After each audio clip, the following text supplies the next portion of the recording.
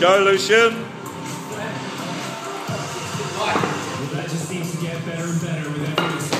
That's London Grammar with Hey Now, the Arty remix.